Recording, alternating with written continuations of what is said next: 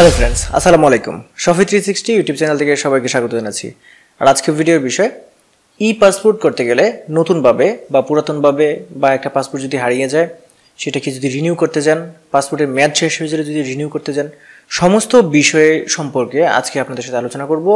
আলোচনার বিষয়বস্তুর মূল বিষয়বস্তু হলো যে ই পাসপোর্ট হয়ে গেছে, আপনার কী কী কাগজপত্র লাগবে, কী কী পদ্ধতি বা কী কী কর্ম যে এটা আছে, এই, এগুলো আপনার কী কী কাজগুলো আপনাকে করা লাগবে। সমস্ত জিনিসটা আপনাদেরকে আজকে বলে দিব। এই জিনিসগুলো যদি আপনি ভালোভাবে ফলো করে যান, তাহলে আসলে আপনাকে যেটা পোহাতে হবে না, সেটা হচ্ছে কোনো ঝামেলা পোহাতে হবে না। আর যদি এই সবগুলো জিনিস যদি আপনার ভালোভাবে আপনি ফলো না করেন, তাহলে আপনাকে কিন্তু বিভিন্ন হ্যারাসমেন্টের মধ্যে পড়তে হতে পারে। চলুন, আমি কম্পিউটার স্ক্রিনে চলে যাচ্ছি এবং দেখিয়ে দিচ্ছি আপনাদের এই জিনিসগুলো সম্পূর্ণরূপে আপনি ভালোভাবে ফলো করে তারপর আপনি এই পাসপোর্টে অবশ্যই এই পাসপোর্টে আবেদনটা করবেন। আমি আমার কম্পিউটার স্ক্রিনে চলে আসলাম, দেখতে পাচ্ছেন? আপনি আপনার মোবাইলে হোক অথবা আপনার কম্পিউটারে অথবা ল্যাপটপে যে কোনো জায়গায় জাস্ট আপনি যে কোনো একটা ব্রাউজার ওপেন করবেন। আমি এখানে দেখতে পাচ্ছেন যে গুগল ক্রম ব্রাউজারটা ওপেন করে রেখেছি।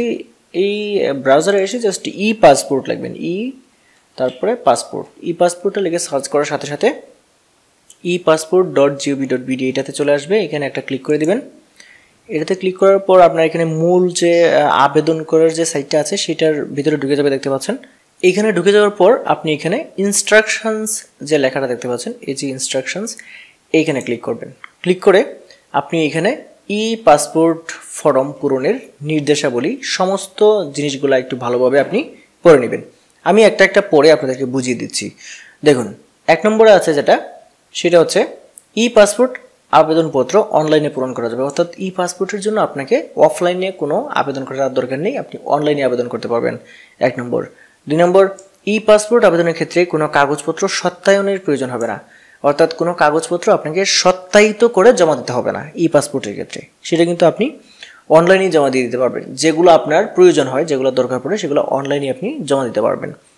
তারপরে এখানে দেখতে পাচ্ছেন ই পাসপোর্ট ফর্মে কোনো ছবি সংযোজন বা সত্যায়নের প্রয়োজন হয় না। অর্থাৎ ই পাসপোর্টের আবেদনের সময় আপনাকে কিন্তু ছবিও জমা দিতে সত্যায়ন করতে হবে না। ছবি সত্যায়িত করে জমা দিতে হবে না। সেই জিনিসটা আর কি। আর ছবি সেখানে লাগবেও না। ছবি লাগবে হচ্ছে আবেদন করার পর যখন আপনাকে যখন আপনি ফর্মটা ইয়া করবেন, জমা দিবেন, ওই সময়ে আপনাকে কিন্তু আপনার ছবি এবং আই স্ক্যান, তারপর ফিঙ্গারপ্রিন্ট স্ক্যান এগুলো ওই সময় নিয়ে নেয়। আচ্ছা তিন নম্বরে দেখি যেটা হচ্ছে জাতীয় পরিচয়পত্র এনআইডি অথবা অনলাইন জন্ম নিবন্ধন সনদ, অর্থাৎ বার্থ রেজিস্ট্রেশন সার্টিফিকেটের ইংলিশ ভার্সনটা অবশ্যই আপনাকে অনলাইনে সার্চ দিয়ে পাইতে হবে। অনলাইনে যদি সার্চ দিয়ে না পাওয়া যায়, তাহলে কিন্তু সেটা হবে না। দেখতে পাচ্ছেন, জাতীয় পরিচয়পত্র এনআইডি অথবা অনলাইন জন্ম নিবন্ধন সনদ বিআরসি ইংলিশ ভার্সন অনুযায়ী আবেদনপত্র পূরণ করতে হবে। অর্থাৎ আবেদনপত্র পূরণ যখন আপনি করবেন, তখন অবশ্যই অবশ্যই আপনাকে যেটা করতে হবে জাতীয় পরিচয়পত্র অথবা যদি সেটা না থাকে, তাহলে জন্ম নিবন্ধনের যে অনলাইন ভার্সন ইংলিশ ভার্সন আছে, ওই অনুযায়ী যেগুলো যেভাবে স্পেলিংগুলো লেখা আছে, বানানগুলো লেখা আছে ঠিক সেই সিস্টেমে আপনাকে আবেদনপত্রটা পূরণ করতে হবে। যেখানে, ওইখানে যে স্থায়ী ঠিকানাটা আছে, ওইভাবেই আপনাকে আবেদনপত্রটা পূরণের সময় ওই স্থায়ী ঠিকানাটা দিতে হবে। অর্থাৎ ওইটা যেভাবে আছে, ঠিক সেভাবে দিতে হবে। হয় এনআইডি অথবা অনলাইন জন্ম নিবন্ধন সনদ, তাও আবার ইংলিশ ভার্সন যার এনআইডি নাই, তার হচ্ছে জন্ম নিবন্ধন, আর যার এনআইডি আছে, সে তো এনআইডি অনুযায়ী করবে। তারপর পাঁচ নম্বরে আছে অপ্রাপ্ত বয়স্ক অর্থাৎ আঠারো বছরের কম যারা আছে, আবেদনকারীরা যার জাতীয় পরিচয়পত্র নাই, তার পিতা অথবা মাতার জাতীয় পরিচয়পত্র এনআইডি নম্বর অবশ্যই উল্লেখ করতে হবে। তাহলে, যার হচ্ছে যে যে কিশোর বা কিশোরী বা ছেলে মেয়ে বা অপ্রাপ্ত বয়স্ক আঠারো বছরের কম যারা আছে, যার এনআইডি কার্ড এখনও হয়নি, তার আবেদনের সময় তার পিতা অথবা মাতা, মা অথবা বাবা যে কোনো একজনের এনআইডি নম্বর উল্লেখ করতে হবে। তারপরে ছয় নম্বরে দেখতে পাচ্ছেন জাতীয় পরিচয়পত্র অথবা এনআইডি জন্ম জন্ম নিবন্ধন সনদ নিম্নুক্ত বয়স অনুসারে দাখিল করতে হবে। এখন জাতীয় পরিচয়পত্র এবং জন্ম সনদ, সেটা আসলে কি কি কোন কোন মানুষের জন্য কীভাবে উল্লেখ করতে হবে সেটাও কিন্তু এখানে বলে দিয়েছে। দেখতে পাচ্ছেন যে ক নম্বর আছে, আঠারো বছরের নিম্নে হলে জন্ম নিবন্ধন সনদ সে ব্যবহার করবে। তাও আবার সেটা অনলাইন ভার্সন হতে হবে এবং ইংলিশে ইংলিশ ভার্সন থাকতে হবে। সেটা কিন্তু যখন জন্ম নিবন্ধনটা সে করে, তখন ওই সময় কিন্তু সেটা আপনাকে ইয়ে করতে হবে মানে এনশিওর করতে হবে যে অবশ্যই ইংলিশ ভার্সন যাতে থাকে এবং অনলাইনে যে কোনো সময় সার্চ করলে সেটা যাতে চলে আসে, এটা কিন্তু এ করতে হবে।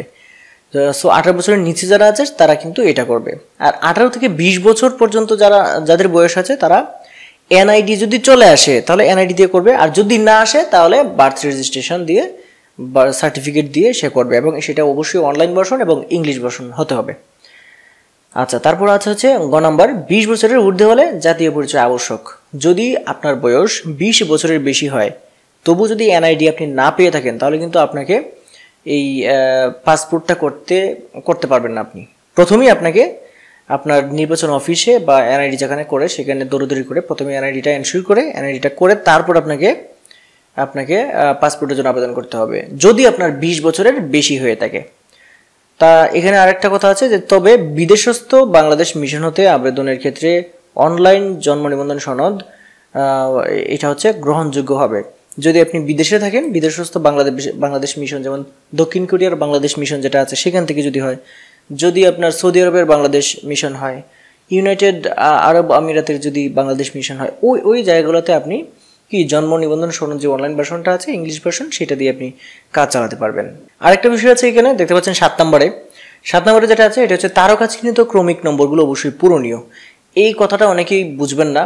ওই, এই কথাটা কোনটা? এই কথাটা হচ্ছে আপনি যখন আবেদন ফর্মটা ফিল আপ করবেন, তখন কিছু তারকা চিহ্নিত ফর্মের অংশ থাকবে।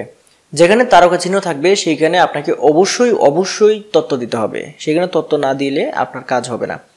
এই এই বিষয়টা আপনাকে লক্ষ্য করতে হবে। তারপর আট নম্বরে যেটা আছে, সেটা হচ্ছে দত্তক নেওয়া বা অভিভাবকত্ব গ্রহণের ক্ষেত্রে। যদি আপনি আপনার নিজস্ব সন্তান না থাকে, যদি দত্তক নেন বা অভিভাবকত্ব গ্রহণ করেন এই এই সকল সন্তানদের যদি আপনি পাসপোর্ট আবেদন করতে যান তাহলে স্বরাষ্ট্র মন্ত্রণালয়ের সুরক্ষা, সেবা বিভাগ বা স্বরাষ্ট্র মন্ত্রণালয় হতে জারিকৃত আদেশ দাখিল করতে হবে। অর্থাৎ ওই দত্তক বা অভিভাবকত্ব গ্রহণের ক্ষেত্রে পাসপোর্ট আবেদনের সাথে সুরক্ষা, সেবা বিভাগ, স্বরাষ্ট্র মন্ত্রণালয় হতে জারিকৃত আদেশ দাখিল করতে হবে। ওই আদেশ আপনাকে সেখান থেকে অবশ্যই প্রথমে আনতে হবে, তারপর সেটা অবশ্যই দাখিলও করতে হবে। নইলে কিন্তু আপনি সেটা পারবেন না, কারণ সে তো আপনার ছেলে বা মেয়ে নয়, তাদেরকে আপনি দত্ত কিনেছেন সেক্ষেত্রে কিন্তু অবশ্যই অবশ্যই স্বরাষ্ট্র মন্ত্রণালয়ের আদেশ কিন্তু আপনাকে লাগবে। নয় নম্বরে যেটা আছে, সেটা হচ্ছে আবেদন আবেদন বর্তমান ঠিকানা সংশ্লিষ্ট বিভাগীয় পাসপোর্ট, ভিসা অফিস, আঞ্চলিক পাসপোর্ট অফিস, বিদেশস্থ, বাংলাদেশ মিশন দাখিল করতে হবে। অর্থাৎ আপনি যে বর্তমান ঠিকানা দিবেন, আপনার স্থায়ী ঠিকানা যেটাই হোক না কেন, আপনি বর্তমান ঠিকানা যেটা দিবেন, সেই ঠিকানার একদম আশেপাশে যে আঞ্চলিক পাসপোর্ট অফিস থাকবে বা ভিসা অফিস থাকবে বা বিভাগীয় পাসপোর্ট পাসপোর্ট অফিস থাকবে, সেইখানেই আপনাকে যেটা করতে হবে, এই ই পাসপোর্টের জন্য আবেদন করতে হবে। আর যদি বিদেশস্থ হয়, যেমন আপনি যদি ভারতে থাকেন, তাহলে ভারতস্থ ভারতস্থ বাংলাদেশ মিশন যেটা আছে সেখানে আপনাকে আবেদন করতে হবে। যদি আপনার উত্তর কোরিয়া হয় বা আপনার যদি ইউএসএ হয়, তাহলে ইউএসএর যে বাংলাদেশ মিশন আছে, সেই জায়গাতে আপনি যদি ওইখানে অবস্থান করেন, তাহলে ওইখানে আপনাকে আবেদন করতে হবে। সেটা আপনি লক্ষ্য রাখবেন। তারপর এখানে দশ নম্বরে যেটা আছে, সেটা হচ্ছে আঠারো বছরের নিম্নের এবং পঁয়ষট্টি বছরের ঊর্ধ্বে সকল আবেদন ই পাসপোর্টের মেয়াদ হবে পাঁচ বছর এবং আটচল্লিশ পৃষ্ঠার। অর্থাৎ আপনার যদি আঠারো বছরের কম হয় এবং আপনার যদি পঁয়ষট্টি বছরের বেশি হয়, তাহলে আপনি পাঁচ বছরের উপরে মেয়াদে পাসপোর্ট পাবেন না। তাও আবার সেটা আটচল্লিশ পৃষ্ঠার। এটা একটা ধরাবাধার নিয়ম দিয়ে দিয়েছে। এগারো নম্বরে আছে হচ্ছে প্রাসঙ্গিক টেকনিক্যাল সনদসমূহ প্রাসঙ্গিক যেমন ডাক্তার, ইঞ্জিনিয়ার, ড্রাইভার ইত্যাদি। যখন আপনি এই এই সংশ্লিষ্ট পাসপোর্টগুলো করবেন, তখন অবশ্যই আপনাকে এই এইগুলার সপক্ষে আপনাকে কিন্তু কাগজপত্র আপলোড করতে হবে। এটা অবশ্যই করতে হবে। আরেকটা জিনিস দেখুন, প্রযোজ্য ক্ষেত্রে প্রাসঙ্গিক জিও, এনওসি, প্রত্যয়নপত্র অবসরত ছুটি পিআরএল অর্ডার পেনশন বই আপলোড সংযোজন করতে হবে ইস্যুকারী কর্তৃপক্ষের নিজ নিজ ওয়েবসাইটে আপলোড থাকতে হবে। অর্থাৎ আপনি যদি আপনার অফিসে যে অফিস থেকে যদি এনওসি নেন হ্যাঁ? তারপর জিও নেন তারপর পিআরএল, ওয়ার্ডার, পেনশন বইগুলো যদি আপনার যদি থাকে, তাহলে আপনাকে যেটা করতে হবে, ওই এনওসি, এনওসিটা আপনাকে অবশ্যই আপনার যে অফিস আছে, সেই অফিসের ওয়েবসাইটে আপলোড থাকতে হবে এবং এটার মেয়াদ কিন্তু কোনোভাবেই তিন মাসের অধিক হবে না। যেমন আমি বলি মনে করুন BRTA, Bangladesh route transport authority. এখন অথরিটি ও যদি কেউ ওর অফিসের এনওসির মাধ্যমে এ করতে চায় পাসপোর্ট করতে চায়, তাহলে ওই এনওসিটা বিআরটি এর ওয়েবসাইটে অবশ্যই আপলোড থাকতে হবে। এবং যখন আবেদন করবে, তখন কিন্তু ওই এনওসি উল্লেখ করে দিতে হবে এবং প্রয়োজনে সেটা আপলোডও করে দিতে হবে। এই জিনিসটা কিন্তু এখানে বিস্তারিত বুঝিয়ে দিয়েছে। তারপরে আছে তেরো নম্বর। তেরো নম্বর দেখুন, প্রযোজ্য ক্ষেত্রে বিবাহ সনদ, নিখানামা এবং বিবাহ বিচ্ছেদ ক্ষেত্রে তালাকনামা দাখিল করতে হবে। এটা আসলে যখন আপনার স্বামী স্ত্রী, স্বামী বিদেশে থাকে এবং স্ত্রীকেও নিয়ে যেতে চায় ওই সময় যদি আপনাকে পাসপোর্ট করতে হয়, তখন কিন্তু আসলে এগুলো প্রয়োজন পড়ে। যেমন নিখানামা বা বিবাহ সনদ এ বা বিবাহ বিচ্ছেদের ক্ষেত্রে তালাকনামা ইত্যাদি, এগুলো কিন্তু তখন প্রয়োজন হয়। তখন আপলোড করতে হয় সেগুলা। চোদ্দ নম্বরে যেটা আছে, দেশের অভ্যন্তরে আবেদনের ক্ষেত্রে প্রযোজ্য ফি এবং এর উপর নির্ধারিত হারে ভ্যাট সহ অন্যান্য চার্জ যদি থাকে, অতিরিক্ত হিসেবে প্রদেয় হবে। বিদেশে আবেদনের ক্ষেত্রে সর্বাধিক নির্ধারিত ফি প্রদেয় হবে। এই দেশে আপনি আবেদন করেন বা বিদেশে আপনি আবেদন করেন ই পাসপোর্টের জন্য, আপনাকে কিন্তু অবশ্যই সরকার নির্ধারিত যে টাকাটা আছে, সেটা অবশ্যই আপনাকে পেমেন্ট করতে হবে। সেই ব্যাংকের মাধ্যমে পেমেন্ট করতে হবে। এবং বাংলাদেশে যদি হয়, তাহলে এখানে ভ্যাট ট্যাক্স যদি অ্যাড না করা থাকে, তাহলে ভ্যাট ট্যাক্স অ্যাড হয়ে যে টাকাটা আসে, এই সেই টাকাটা কিন্তু আপনাকে ব্যাংকের মাধ্যমে পেমেন্ট করতে হবে। সেই ব্যাংকের মাধ্যমে আপনি সশরীরে গিয়েও আপনি সেটা করতে পারেন, অথবা আপনি যে ই ব্যাংকিং আছে মোবাইলের মাধ্যমে যেগুলো ইয়ে করা যায় টাকা পরিশোধ করা যায়, সেভাবে কিন্তু আপনি করতে পারবেন। তারপর পনেরো নম্বরে যেটা আছে, সেটা কূটনৈতিক পাসপোর্টের ক্ষেত্রে। কূটনৈতিক পাসপোর্টের জন্য পররাষ্ট্র মন্ত্রণালয়ের তারা সরাসরি যেটা করবে ইমিগ্রেশন অ্যান্ড পাসপোর্ট প্রধান কার্যালয়ে তারা আবেদন করবে। এটা কূটনৈতিক পাসপোর্টের ক্ষেত্রে, এই যেটা দেখতে পাচ্ছেন এখন। তারপর ষোলো নম্বর যেটা আছে, সেটা হচ্ছে বৈদেশিক মিশন হতে নতুন পাসপোর্টের জন্য আবেদন করা হলে স্থায়ী ঠিকানার কলমে বাংলাদেশের যে তার স্থায়ী ঠিকানাটা আছে, সেটা কিন্তু তাকে লিখে দিতে হবে। এটা আপনি লক্ষ্য রাখবেন। মনে করেন বৈদেশিক মিশন হতে নতুন পাসপোর্টের জন্য কেউ আবেদন করল সেই আবেদনের আবেদনের সময় স্থায়ী ঠিকানার যে কলাম আছে, সেখানে বাংলাদেশে তার যে স্থায়ী ঠিকানা আছে, সেই ঠিকানাটা এখানে উল্লেখ করতে হবে।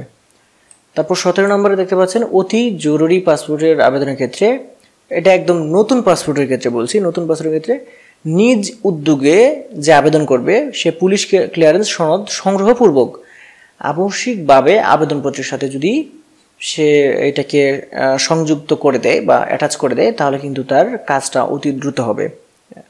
তারপর দেখতে পাচ্ছেন আঠারো। আঠারো তিনটাই আছে। তিনটা অনুচ্ছেদ আছে।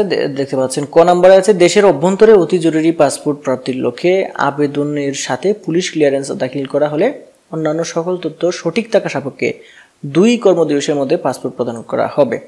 যদি আপনার অতি দ্রুত আপনার পাসপোর্টের প্রয়োজন হয়, তাহলে আপনি আগেই পুলিশ ক্লিয়ারেন্সটা আপনি নিয়ে নেবেন। পুলিশ ক্লিয়ারেন্স ক্লিয়ারেন্সের জন্য আবেদন করবেন এবং পুলিশ ক্লিয়ারেন্সটা নিয়ে নেবেন যে আপনি পাসপোর্ট করতে চান। সেটা নিয়ে অন্যান্য যে কাগজপত্রগুলো আছে, সবগুলো সঠিকভাবে দিয়ে আবেদনটা যদি আপনি জমা দেন, তাহলে আপনি যেদিন আবেদন জমা দেবেন, সেদিনই আপনাকে ছবি তুলে রাখবে ফিঙ্গারপ্রিন্ট এবং চোখের স্ক্যান এগুলো করে রাখবে। তারপর দুই দিন পরে আপনি তিন দিনের মাথায় কিন্তু আপনি পাসপোর্টটা পেয়ে যাবেন। তারপর দেশের অভ্যন্তরে জরুরি পাসপোর্ট প্রাপ্তির লক্ষ্যে আবেদনের সাথে পুলিশ ক্লিয়ারেন্স দাখিল করা হলে অন্যান্য সকল তথ্য সঠিক থাকা সাপেক্ষে সাত কর্মদিবসের মধ্যে পাসপোর্ট প্রদান করা হবে। সো এটা হচ্ছে নর্মাল উপরেরটা যেটা দেখতে পাচ্ছেন, এটা হচ্ছে অতি জরুরি আর এটা হচ্ছে সাধারণটা। হুম, অভ্যন্তরে জরুরি। এটা হচ্ছে এটা হচ্ছে অতি জরুরি এবং এটা হচ্ছে জরুরি পাসপোর্ট হচ্ছে সাত দিনে। আর যেটা নর্মাল সেটা পনেরো দিনে। দেশের অভ্যন্তরে রেগুলার পাসপোর্ট অর্থাৎ নর্মালটা রেগুলার পাসপোর্ট প্রাপ্তির লক্ষ্যে আবেদনের সাথে পুলিশ ক্লিয়ারেন্স দাখিল করা হলে অন্যান্য সকল তথ্য সঠিক থাকা সবাইকে পনেরো কর্মদিবসের মধ্যে পাসপোর্ট প্রদান করা হবে। তারপর দেখতে পাচ্ছেন, আবেদনের সময় মূল জাতীয় পরিচয়পত্র, এনআইডি। আবেদনটা যখন জমা দিবেন, তখন মূল জাতীয় পরিচয়পত্রটা কিন্তু শো করতে হয়। এটা অবশ্যই আপনি লক্ষ্য রাখবেন, ওটা আপনাকে নিয়ে যেতে হবে। যদি এটা না থাকে, তাহলে অনলাইন জন্ম নিবন্ধনের যে অনলাইন ভার্সন আছে ইংলিশ ভার্সন সেটা কিন্তু আপনাকে অবশ্যই নিয়ে যেতে হবে। আর টেকনিক্যাল সনদ বা সরকারি আদেশ। অর্থাৎ আপনি যদি জিও অথবা এনওসির মাধ্যমে আপনার পাসপোর্ট করতে চান, তাহলে জিও অথবা এনওসিটা কিন্তু যখন আপনি আবেদনটা দাখিল করেন, ওই সময় কিন্তু শো করতে হবে। ওটা ওদেরকে দেখাতে হবে। এটা লক্ষ্য রাখবেন। তারপর বিশ নম্বরে যেটা আছে, এটা হচ্ছে পাসপোর্ট রি ইস্যুর ক্ষেত্রে মূল পাসপোর্ট প্রদর্শন করতে হবে। মনে করেন আপনার পাঁচ বছরের জন্য একটা পাসপোর্ট করেছিলেন, পাঁচ বছরের মেয়াদ শেষ। এখন আপনি যেটা করবেন, আবার পাসপোর্ট করবেন। এখন ওই আবার পাসপোর্ট করার সময় আপনাকে কিন্তু পুরাতন পাসপোর্টের কপিটা শো করতে হবে। অবশ্যই দেখাতে হবে। তারপর দেখুন, হারানো পাসপোর্টের ক্ষেত্রে মূল জিডির কপি প্রদর্শন এবং দাখিল করতে হবে। যদি আপনার পাসপোর্ট হারিয়ে যায়, তাহলে আপনি যেটা করবেন, পাসপোর্ট করা সাথে সাথে আপনি পাসপোর্টে স্ক্যান করে রাখবেন অথবা দুই একটা ফটোকপি করে আপনার ফাইলে রেখে দেবেন। কারণ আপনার মূল পাসপোর্টটা যদি কখনো হারিয়ে যায়, তখন এটা হারানোর যে জিডি যেটা করবেন আপনি, সেই জিডির কপিটা আপনার মূল কপিটা প্রদর্শন করতে হবে। এক, দুই নাম্বার হচ্ছে আপনার এই ফটোকপিও কিন্তু আপনাকে প্রদর্শন করতে হবে। এইটা না করলে কিন্তু আপনি একটা ঝামেলায় পড়ে যেতে পারেন। এই হচ্ছে বিষয়। তারপর হচ্ছে ছয় বছরের বয়সের নিম্নে যদি কারও কোনো বাচ্চার আবেদন করতে যান পাসপোর্টের জন্য, তাহলে তার থ্রি আর সাইজের ল্যাব প্রিন্ট একটা ছবি লাগবে। ল্যাব প্রিন্ট এই যে থ্রি আর সাইজের ল্যাব প্রিন্ট ছবিটা, সেটার ব্যাকগ্রাউন্ড হবে গ্রে অর্থাৎ গ্রে কালারটা হচ্ছে, আমি আপনাদেরকে একটু দেখাচ্ছি গ্রে কালার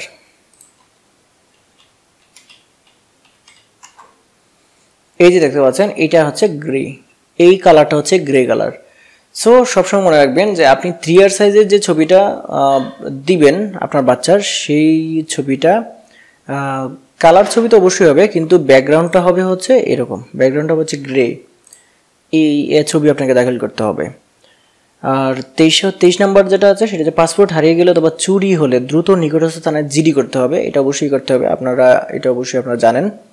আবার পুনরায় পাসপোর্টের জন্য আবেদনের সময় পুরাতন পাসপোর্টের ফটোকপি যেটা একটু আগে বলছিলাম। অবশ্যই পুরাতন পাসপোর্টের ফটোকপি আপনার লাগবে এবং জিডির কপি সহ আবেদনপত্রটা দাখিল করতে হবে। সো এই নির্দেশনাগুলো কিন্তু পাসপোর্ট অধিদপ্তর থেকে ইমিগ্রেশন অ্যান্ড পাসপোর্ট অধিদপ্তর থেকে কিন্তু এগুলো সুন্দরভাবে দিয়ে দিয়েছে। এই সবগুলা জিনিস আপনারা যেটা করবেন, একটা প্রিন্ট আউট করবেন। এখান থেকে কন্ট্রোল পি দিয়ে এই এখানে ঢুকে এগুলো সবগুলো প্রিন্ট আউট করবেন। প্রিন্ট আউট করে একটা একটা করে সর্ট আউট করে আপনি যেটা করবেন এখান থেকে, যাতে একটা কাগজপত্র বা একটা নির্দেশনা যাতে আপনাদের ভুল না হয়, সেইভাবে আপনারা আবেদনটা করবেন এবং জমা দিবেন। জমা দেওয়ার সময় কোনো পাসপোর্টে কোনো কাগজপত্রে আপনি না নিয়ে যাবেন না, সবগুলো একটা ফাইলে নিয়ে যাবেন। সেক্ষেত্রে যেটাই প্রয়োজন হয় সেটাই অবশ্যই প্রতিটা কাগজপত্রের দুটা করে ফটো করে কপি রাখবেন, আর একটা মেন কপি তো থাকবেই। সেক্ষেত্রে কিন্তু আপনি যেটা করতে পারবেন। যেদিন আপনি আবেদন করবেন সেই দিন টাকা দিয়ে সেই দিনই আপনি ছবি ফিঙ্গারপ্রিন্ট আই স্ক্যান সব কিছু দিয়ে দিয়ে চলে আসতে পারবেন। সেই ক্ষেত্রে কিন্তু আপনার যে হ্যারাসমেন্ট যে পাসপোর্ট অফিসে গিয়ে যে ঘোরাঘুরি, এই সেই দালাল থাকে, এগুলোর যে মানে অভিযোগটা, এটা আসলে দেওয়া লাগবে না। বিষয়টা হচ্ছে আপনি নিজে কখনো দালালের কপরে না পড়ে এইভাবে সুন্দরভাবে সবগুলো দেখে, তারপর যেটা করবেন, আপনি সুন্দরভাবে গিয়ে আবেদনটা করে এই ফিঙ্গারপ্রিন্টিং সব দিয়ে আসবেন। পরে দেখবেন যে আপনি অটোমেটিক কিন্তু আপনার এখানে মেসেজ চলে আসবে যে আপনার পাসপোর্টটা প্রিন্ট হয়ে গেছে, অথবা আপনি যেটা করতে পারবেন চেক চেকও করতে পারবেন। যে চেক স্ট্যাটাস এখানে গিয়ে আপনি কিন্তু যখন আপনাকে লাস্ট আপনি ফিঙ্গারপ্রিন্ট দিয়ে আসবেন, তখন আপনাকে একটা স্লিপ দিবে। ওই স্লিপের মধ্যে কিন্তু এই অ্যাপ্লিকেশন আইডি লেখা থাকবে। এই অ্যাপ্লিকেশন আইডি দিবেন, তারপর এখানে এই যে দেখতে পাচ্ছেন ডেট অফ বার্থ এটা দিয়ে এই চেকের মধ্যে ক্লিক করলেই আপনার পাসপোর্টটা প্রিন্ট হয়েছে কিনা বা ডেলিভারির জন্য রেডি কিনা, এখানে কিন্তু একদম শো করে দেবে। সেক্ষেত্রে কিন্তু কোনো ঝামেলা ছাড়াই আপনি খুব সুন্দরভাবে পাসপোর্টটা করে ফেলতে পারবেন। সো ফ্রেন্ডস আজকের ভিডিও বিষয় ছিল ই পাসপোর্টের আবেদনের ক্ষেত্রে ইনস্ট্রাকশন বা কী কী কাগজপত্র লাগবে যাবতীয় জিনিস। আশা করি আপনাদের ভিডিওটা ভালো লেগেছে। যদি ভিডিও ভালো লাগে, অবশ্যই ভিডিওটা লাইক করে দেবেন এবং ভিডিওটা শেয়ার করে দেবেন। আর আপনি যদি আমার চ্যানেলে নতুন হয়ে থাকেন, তাহলে চ্যানেলটি সাবস্ক্রাইব করে পাশে থেকে বেল আইকনটি চেপে রাখবেন। আজকের ভিডিও পর্যন্তই। আল্লাহ হাফেজ।